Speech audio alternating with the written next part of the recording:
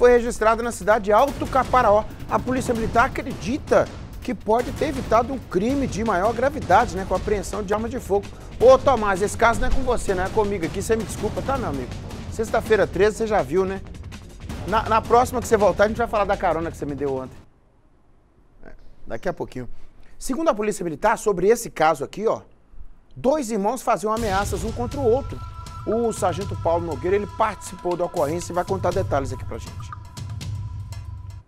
A Polícia Militar foi acionada no córrego pertencente à cidade de Alto Caparaó, tendo em vista que dois irmãos estavam tendo um atrito, inclusive com o risco iminente de ocorrer um homicídio no local.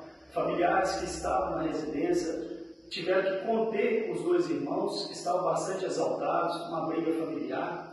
Imediatamente a Polícia Militar deslocou até a residência do, desses indivíduos, sendo é, verificada a situação que, inclusive, ambos os irmãos possuem arma de fogo de maneira legal, com registro, são cidadãos de bem, porém, naquela situação, eles estavam bastante exaltados, se ameaçando mutuamente, ocasionando um risco iminente de ocorrer ali um homicídio, uma situação que nós é, conseguimos maneira rápida e recolhemos esse material aqui, essas armas, é, ocasionando aí a impossibilidade de que eles venham a atentar contra a vida um do outro.